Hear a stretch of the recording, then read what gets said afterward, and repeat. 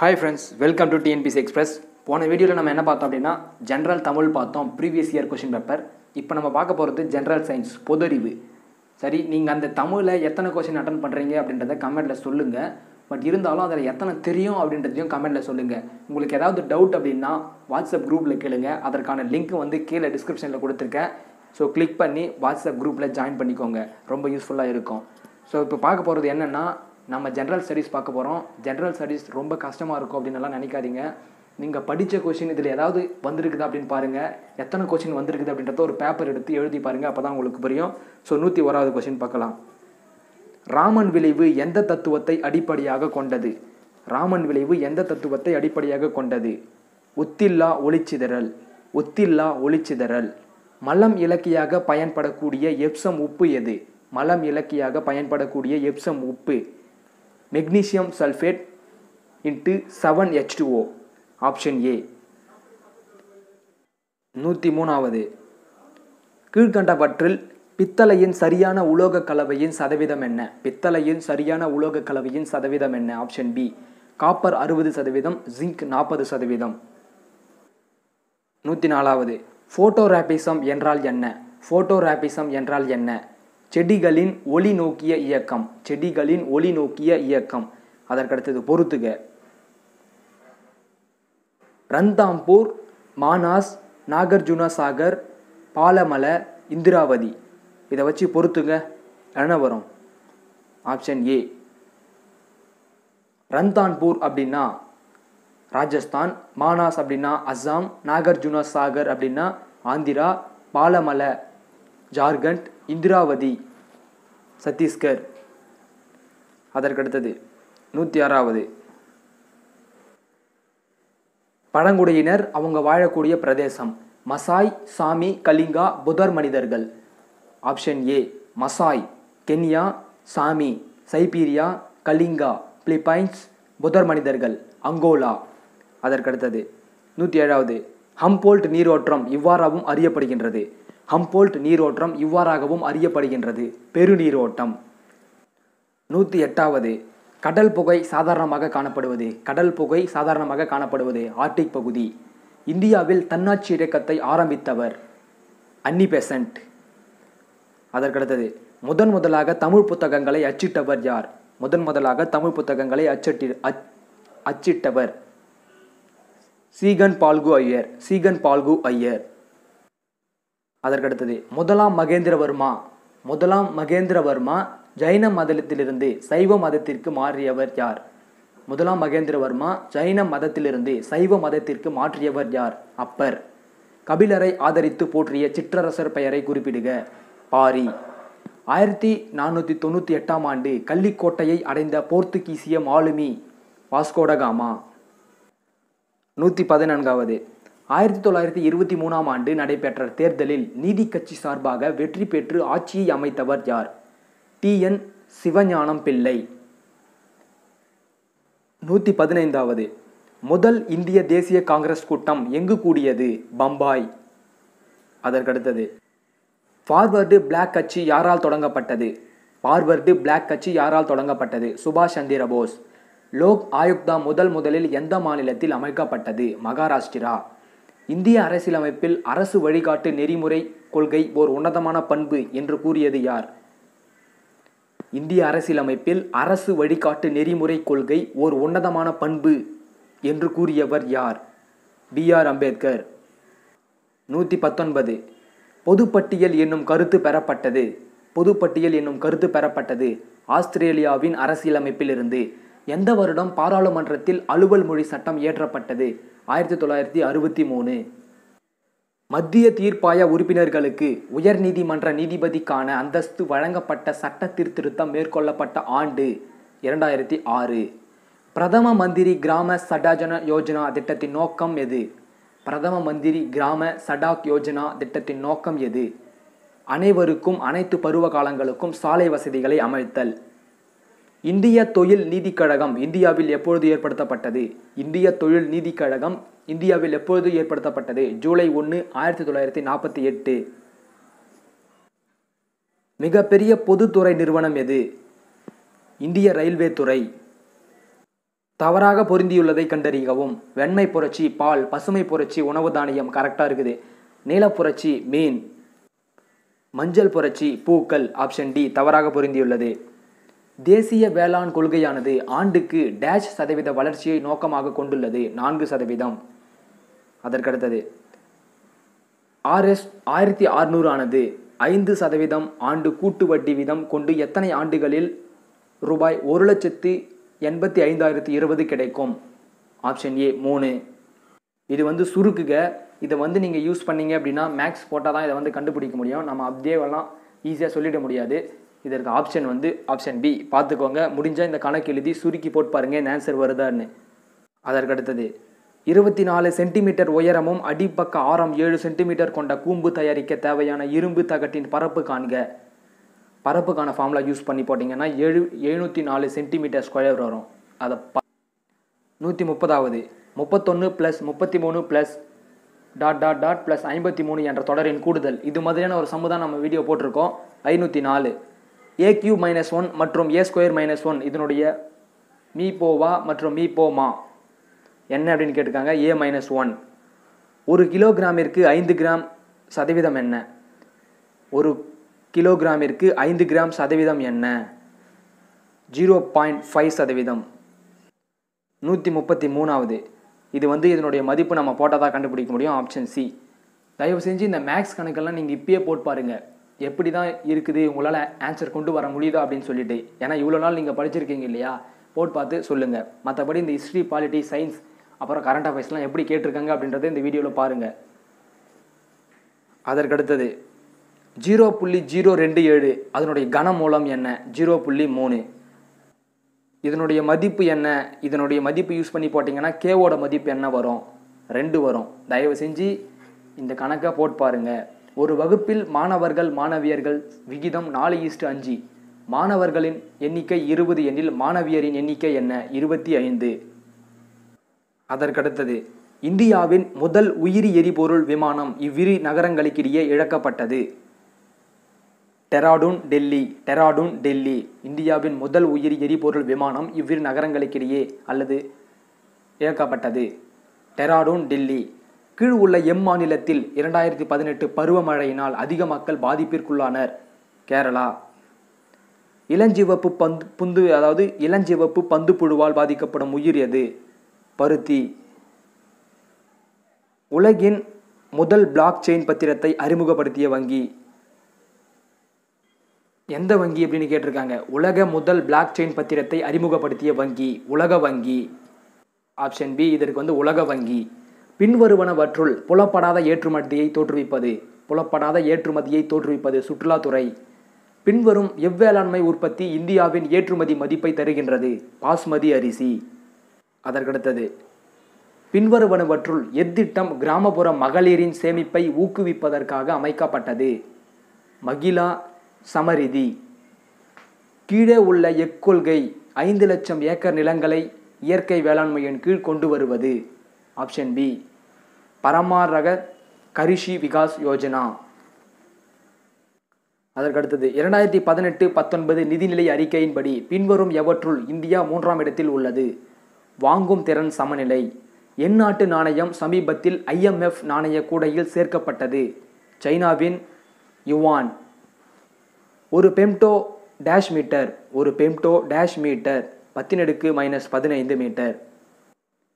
கோலப்புள்ளி மையத்தில் புவியீர்ப்பு புலத்தின் மதிப்பு யாது? கோலப்புள்ளி மையத்தில் புவியீர்ப்பு புலத்தின் மதிப்பு யாது? ஜீரோ அதாவது சுழி. கேலா ஒளி உணரும் தன்மை யாருக்கு உள்ளது? வவ்வால் ஒடுக்க வினையில் கீழ்கண்டவற்றுள் என்ன நிகழ்கிறது? எலக்ட்ரான்கள் ஏற்பு. கலினா என்பது கீழ்கண்டவற்றுள் உள்ள எந்த உலோகத்தின் தாது பொருள் கலினா. காரியம்.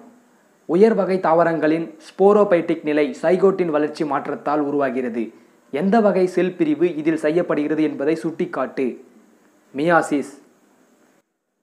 குன்ஸ் குழாய் எந்த நிகழ்வை நிரூபிக்கும்? குன்ஸ் குழாய் எந்த நிகழ்வை நிரூபிக்கும்? நொதித்தல். உயிருள்ள மற்றும் உயிரற்ற நுண்ணுயிரினங்கள் நம் உடலில் செலுத்தி நமக்கு எதிர்ப்பு சக்தியை உருவாவதற்கு என்ன பெயர்? உயிருள்ள மற்றும் உயிரற்ற நுண்ணிய உயிரினங்கள் நமது உடலுக்குள் செலுத்தி நமக்கு எதிர்ப்பு சக்தியை உருவாதற்கு என்ன பெயர்? தடுப்பூசி. சூழ்நிலையின் அறிவியலின் முக்கிய ஆதாரம். சூழ்நிலையிலின் மு- ஆற்றலின் சூழ்நிலையிலின் ஆற்றலின் முக்கிய ஆதாரம் எது? ஆட்டோ மண்டலம் அமில மழையானது அனைத்து தாவரத்தையும் அழிக்கும் தன்மையுடையது எனில் அதில் அடங்கியுள்ளவை. சல்பியூரிக் அமிலம். பின்வரும் மண் குறித்தான வாக்கியங்களில் சரியானவைகள் எவை? மண் மாறும் தன்மை கொண்ட இயற்கை காரணி இவைகள் தாதுக்கள் மற்றும் உயிர் மட்குகளாலானவை. இவைகளின் பண்பு உருவான பாறையினை பொறுத்தே அமைகின்றது. அனைத்து மண் வகைகளும் வளர்ச்சியடைந்த குறுக்கு வெட்டு தோற்றத்தை கொண்டிருக்கும். இதில் எது? ஒன்று மற்றும் இரண்டு மற்றும் மூன்று மட்டும் சரி. கங்கையாரும் யமுனையாரும் சந்திக்கும் இடத்தின் பெயர் என்ன? அலகாபாத். சட்லஜி ஆற்றின் குறுக்கே கட்டப்பட்டுள்ள அணையின் பெயர் என்ன? பக்ரானங்கள் அணை. எந்த ஆண்டு? சென்னை மகாஜன சபை தோற்றுவிக்கப்பட்டது. ஆயிரத்தி எட்நூற்றி எண்பத்தி நான்காம் ஆண்டு. திருச்செங்கோடு ஆசிரமத்தை நிறுவியவர் யார்? ராஜாஜி. அண்ணாமலை பல்கலைக்கழகம் ஆரம்பிக்கப்பட்ட ஆண்டு ஆயிரத்தி தொள்ளாயிரத்தி இருபத்தி ஒன்பது. ஆசிய கண்டத்தில் முதலாவது அணு உலை எங்கு நிறுவப்பட்டது? இந்தியா. சித்திரகார புலி என்ற விருது பெயர் சூட்டப்பட்ட மன்னர் யார்? முதலாம் மகேந்திரவர்மன். எந்த காங்கிரஸ் மாநாட்டில் பாரதியார் கலந்து கொண்டார்? சூரத் மாநாடு.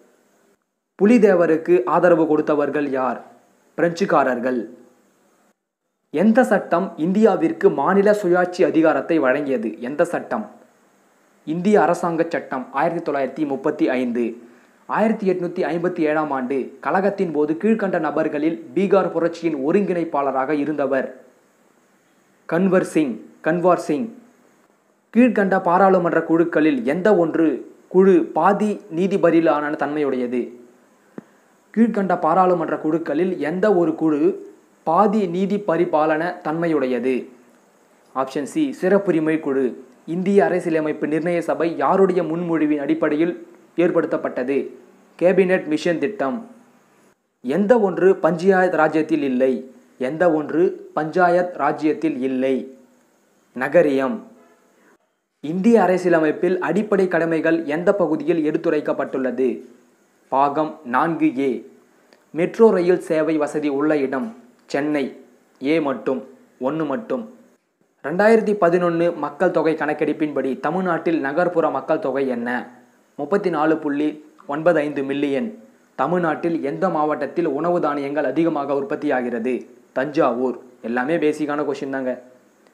ஆண்டு கூட்டு வட்டியில் எத்தனை சதவீதத்தில்? ரூபாய் அறுநூற்றி நாற்பதானது இரண்டு ஆண்டுகளில். ரூபாய் எழுபத்தி அதாவது கொஷின் படிக்கிறேன் இது ஈஸியானது தான். ஆண்டு கூட்டு வட்டியில் எத் எத்தனை எத்தனை சதவீதத்தில் ரூபாய் அறுநூற்றி நாற்பதானது இரண்டு ஆண்டுகளில்? ரூபாய் எழுபத்தி ஏழாயிரத்து நானூற்றி நாற்பதாக ஆகும் அப்படின்னு கேட்டிருக்காங்க. பத்து சதவீதம். ஆப்ஷன் சி இதற்கு. ஒரு சர்க்கஸ் கூடாரமானது மூன்று மீட்டர் உயரமுள்ள உருளையின் மீது கூம்பு அமைந்தார் போன்ற வடிவத்தில் உள்ளது அதன் அடிப்பக்க ஆரம் ஐம்பத்தி ரெண்டு புள்ளி ஐந்து மீட்டர் கூம்பின் சாயுயரம் ஐம்பத்தி மூணு மீட்டர் எனில் அக்கூடாரம் அமைத்து தேவையான கித்தான் துணியின் பரப்பு. இது வந்து டென்த்தில் வர்றது இது. Option B. ஒரு சதுரத்தின் பரப்பளவு ஒன் பை டூ ஏக்கர் எனில் சதுரத்தின் மூலைவிட்டம் எது அப்படின்னு கேட்டிருக்காங்க. நூறு மீட்டர். இதெல்லாம் நீங்கள் மேக்ஸிலே படிச்சிருப்பீங்க. இரு கோளங்களின் புற பரப்பளவுகள் ஒன்பது இஸ்டு இருபத்தி ஐந்து என்ற விகிதத்தில் உள்ளது. அவற்றின் கன அளவு விகிதம் இருபத்தி ஏழு இஸ்டு நூற்றி இருபத்தைந்து தயவு செஞ்சு இந்த மேக்ஸ் எல்லாம் கொஞ்சம் பாருங்கள் எங்கே இருக்குது அப்படின்றத. இல்லை படிச்சிருக்கீங்களா அப்படின்ற ஒரு ஞாபகமாவது வருதான்னு பாருங்கள் அதற்கடுத்தது one Z A three Y B six X C ten W D என்ற வரிசையை நிரப்புக. Option D fifteen V E இரு எண்களின் பெருக்கல் தொகை ஆயிரத்தி ஆறுநூறு மற்றும் அவைகளின் மீபோவா ஐந்து எனில் எண்களின் மீபோமா மற்றும் எது அப்படின்னு கேட்டிருக்காங்க. மீபோமா கேட்டிருக்காங்க. இதற்கு ஆப்ஷன் ஏ முந்நூற்றி இருபது. மீப்போமா மீப்போவா கண்டுபிடிக்கிறது ஒன்றும் உங்களுக்கு அவ்வளோ சாதாரணம் என்ன இல்லை. சாதாரணமான விஷயம்தான். ஏன்னா வந்து டிஎன்பிசி ஸ்டூடெண்ட்ஸ் எல்லாருமே அதை ஈஸியாக தெரிஞ்சு வச்சுருப்பீங்க. ஸோ இதற்கு எப்படி அப்படின்றத கண்டுபிடிச்சு பாருங்கள் இந்த ஆன்சர் வருதான்னு. இரு கை கடிகாரங்கள் ஒவ்வொன்றையும் ரூபாய் ஐநூற்றி தொண்ணூற்றி நான்கு இவ்வாறு விற்றதில் ஒருவருக்கு பத்து சதவீதம் லாபமும் மற்றதில் பத்து சதவீதம் நட்டமும் அவருக்கு ஏற்பட்டது. மொத்தத்தில் அவருக்கு ஏற்பட்ட லாபம் அல்லது நட்ட சதவீதம் காண்க. நட்ட சதவீதம் ஒரு சதவீதம். இது வந்து சுருக்குக பட் இதற்கு நம்ம அப்படியே ஆன்சர் சொல்லிட முடியாது. நீங்கள் மேக்ஸ் போட்டிங்க அப்படின்னா தான் தெரியும். ஆப்ஷன் ஏ மேக்ஸ் மேக்ஸ் வந்து கொஞ்சம் கஷ்டமாக வர்றது எப்பயுமே வந்து அது உண்மை தான் ஏன்னா வந்து ஒரு ஆறு ஏழு கொஷின் மட்டும்தான் ரொம்ப டஃப்பாக வரும். மீதி எல்லாம் ஈஸியாக தான் இருக்கும். பயப்படாதீங்க. நூற்றி எண்பத்தி ஐந்தாவது. ஒரு குறிப்பிட்ட அசலானது எட்டு சதவீதம் வட்டி வீதத்தில் எத்தனை ஆண்டுகளில் மூன்று மடங்காகும் என காட்டுக. இருபத்தி ஐந்து வருடங்கள். ஐம்பத்தி நாலு எரு எழுபத்தி ஒன்று எழுபத்தைந்து மற்றும் தொண்ணூற்றி ஒன்பது என்ற ஒவ்வொரு எண்ணுடனும் எந்த எண்ணை கழித்தால் அதன் மீதம் சமவீதத்தில் இருக்கும்? ஆப்ஷன் சி மூணு. ஆறு ஆண்கள் ஒரு வேலையை நாளொன்றுக்கு பத்து மணி நேரம் வேலை செய்து இருபத்தி நாலு நாட்களில் முடிப்பர். ஒன்பது ஆண்டுகள் நாளொன்றுக்கு எட்டு மணி நேரம் வேலை செய்தால் எத்தனை நாட்களில் அவ்வேலையை முடிப்பர்? இருபது நாட்கள். ஏ என்பவர் ஒரு வேலையை இருபது நாட்களிலும் பி என்பவர் அதே வேலையை முப்பது நாட்களிலும் முடிப்பர். இருவரும் சேர்ந்து வேலை செய்து அவ்வேலையை முடித்து ரூபாய் ஆறுநூறை தங்கள் வருவாயாக பெற்றனர் எனில் ஏ மற்றும் பியின் பங்கு என்ன? முந்நூற்றி அறுபது இரநூத்தி நாற்பது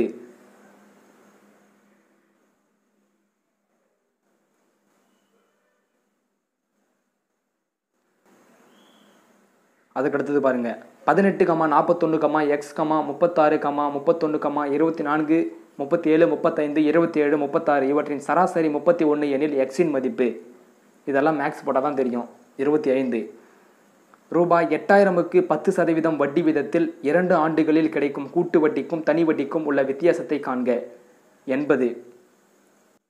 பிலிப்பைன்ஸ் பாகிஸ்தான் மற்றும் இந்திய நாடுகளின் பொதுவான தேசிய பழம் எது? மாம்பழம். என் நகரத்தில் முதல் நேபாள இந்தியா திங்க் டேங்க் மாநாடு நடைபெற்றது. காட்மாண்டு. பாலின துன்புறுத்தலை அடையாளம் காண குழந்தைகளிடையே விழிப்புணர்வு ஏற்பட மேற்கொள்ளப்பட்ட பிரச்சாரம் எது? பாலின துன்புறுத்தலை அடையாளம் காண குழந்தைகளிடையே விழிப்புணர்வு ஏற்பட மேற்கொள்ளப்பட்ட பிரச்சாரம். நம் பாதுகாப்பு நம் உரிமை. தேசிய ஊரக வேலைவாய்ப்பு திட்டம். வேலை உத்திரவாதம் அளிக்கும் நாட்களின் எண்ணிக்கை நூறு நாட்கள். அதற்கடுத்தது. பொருள் மற்றும் சேவை வரி என்பது எந்நாட்டில் தோன்றியது. ஜிஎஸ்டி எந்த நாட்டில் உருவானது? கனடா. கருமை புரட்சி இதனுடன் தொடர்புடையது. கருமை புரட்சி கச்சா எண்ணெய் உற்பத்தி. இரண்டாயிரத்தி பதினேழு நீதிநிலை அறிக்கையில் தொலைதூர பகுதிகளில் கடவு சீட்டு வழங்குவதற்கு முகமை அலுவலமாக அறிவிக்கப்பட்டது எது? தபால் நிலையம். ரெண்டாயிரத்தி பதினேழு இரண்டாயிரத்தி பதினெட்டு நிதிநிலை அறிக்கையில் மூத்த குடிமக்களுக்காக அறிவிக்கப்பட்ட வசதி எது? ஆதாருடன் இணைக்கப்பட்ட ஸ்மார்ட் அட்டை இதெல்லாம் கரண்ட் அஃபேர்ஸ் அதற்கடுத்தது தங்க தங்க கை குலுக்கும் திட்டம் இதனுடன் தொடர்புடையது. விருப்ப ஓய்வு கரண்ட் அஃபேர்ஸ் தான். பின்வரும் எந்த திட்டம் அடுத்த மூன்று ஆண்டுகளில் ஒரு கோடி இளைஞர்களின் திறன் மேம்பாட்டிற்காக உருவாக்கப்பட்டது? Option B option B Kaushal Vikas Yojana M B Kaushal Vikas Yojana M current affairs so friends இப்போ நீங்கள் பார்த்தது ஜென்ரல் ஸ்டடீஸ் பொது அறிவு பகுதி. இதில் நீங்கள் படித்தது வரலை அப்படின்றதுக்காக ஃபீல் பண்ணாதீங்க. பட் இது வந்து போன வருடம் இல்லாமல் அதற்கு முன்னாடி வருடம் இல்லாமல் அதற்கு முன்னாடி வருடம் நடந்த ஒரு மாதிரி வினாத்தாள் ப்ரீவியஸ் இயர் கொஷின் பேப்பர் முந்தைய வினாத்தாள். ஸோ இதை நினச்சி கவலைப்படாதீங்க. பெரும்பாலும் வந்து இந்த வரலாறு பாலிட்டி அந்த கொஷினெல்லாம் ஈஸியாக தான் இருந்தது இந்த கொஷின் பேப்பரில் பட் இந்த கொஷின் பேப்பரில் எனக்கு தெரிஞ்சு இது கொஞ்சம் கஷ்டமாக இருந்தது அப்படின்னா இந்த கரண்ட் அஃபேர்ஸ் இந்த திட்டங்கள் பற்றி கேட்டிருந்தாங்க. இதெல்லாம் எதிர்பார்க்காத கொஷினாக இருந்தது. அதற்கடுத்தது மேக்ஸில் ஒரு ஆறு கொஷின் ஒரு ஏழு கொஷின் வந்து கொஞ்சம் டஃப்பாக இருந்தது. மற்றபடி சயின்ஸ் கொஷின் எல்லாமே ஈஸியாக தான் இருந்தது. ஹிஸ்ட்ரி எல்லாமே ஈஸியாக தான் இருந்தது. அந்த அளவுக்கெல்லாம் ஹிஸ்ட்ரியிலலாம் ரொம்ப உள்ளெல்லாம் போக மாட்டாங்க. ஏன்னா இது வந்து பேசிக்கான ஒரு என் எக்ஸாம் அட அப்படின்றத புரிஞ்சுக்கோங்க. ஸோ நம்ம வாட்ஸ்அப் குரூப்பில் ஜாயின் பண்ணிக்கோங்க. அதில் நிறைய பிடிஎஃப் நான் உங்களுக்கு சென்ட் பண்ணுறேன் அந்த பிடிஎஃப் எல்லாமே உங்களுக்கு யூஸ்ஃபுல்லாக இருக்கும். ஸோ வாட்ஸ்அப் குரூப்பில் ஜாயின் பண்ணிக்கோங்க. படிங்க. அப்போ தான் நமக்கான வெற்றி காத்து கொண்டு இருக்கும் அப்படின்றத சொல்லி இந்த வீடியோ முடிக்கிறேன். நன்றி. வணக்கம்.